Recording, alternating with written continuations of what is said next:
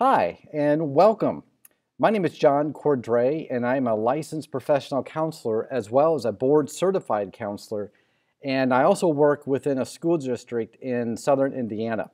And so I want to say a special hello to all the, the Parkland families and students and parents who recently has gone through something very tragic, very, um, very large, on a very large public scale of grief and loss and trauma and trying to figure out how do you move on from here. And so I wanted to talk a little bit about what I call um, false guilt, or it could be also called survivor's guilt.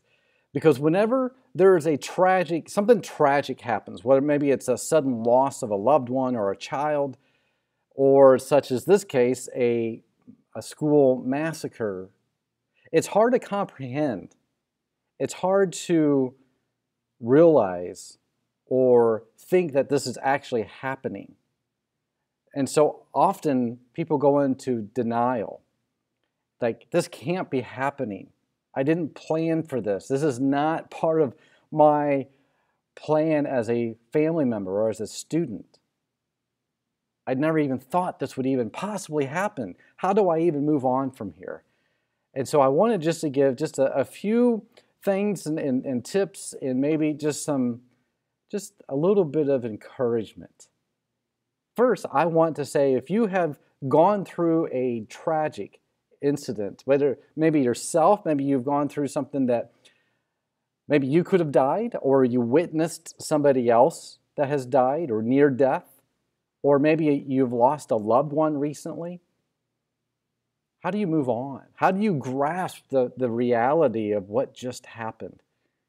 And that, that guilt that you tend, many tend to have. And if you're watching this, you might have this yourself right now.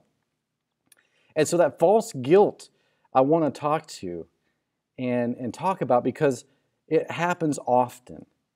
And I know what you probably have been thinking or have thought. There's something I could have done. I should have known. If I just would have, you fill in the blanks. But the reality is, there's no way you could have predicted something like this. You couldn't prevent it. You had no idea this was going to happen. But yet, so often, probably every day, you beat yourself up.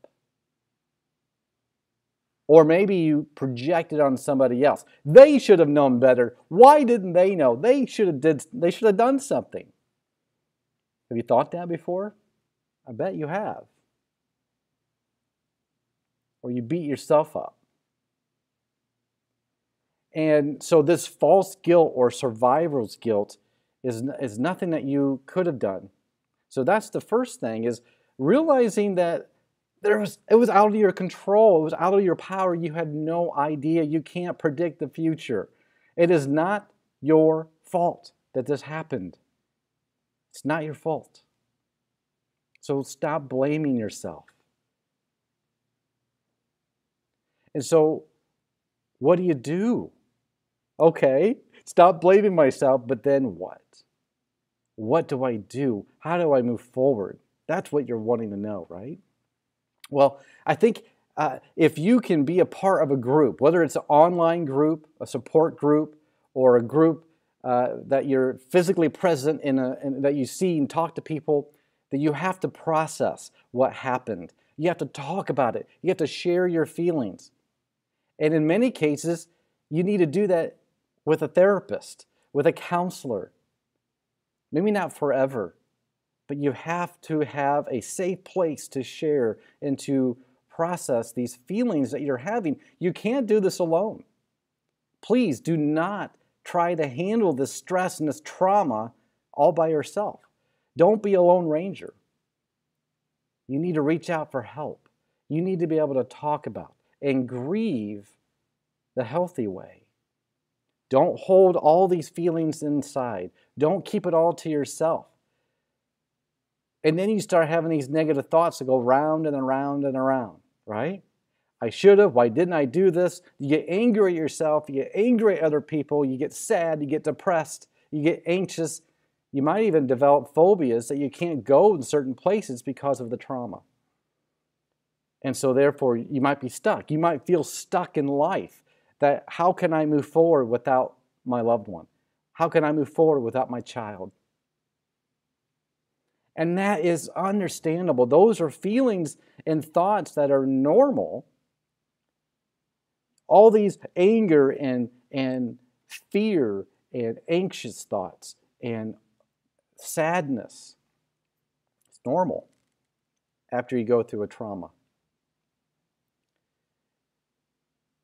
But you don't want to keep in that spot forever. There's a time, there's a place, a length of time where you need to grieve. That maybe you need to kind of shut down and, and turn off, if you will. But then you have to start moving forward. Pick up the pieces. So, whether it's your child or a loved one, they would want you to move forward. I know I've, I've met with many parents who have lost a child and they can't seem to go forward. But their child, your child, your parent, your loved one would want you to move forward and experience and enjoy life again. And yes, it is possible. And so I want you, one, to stop beating yourself up. There's nothing you could have done.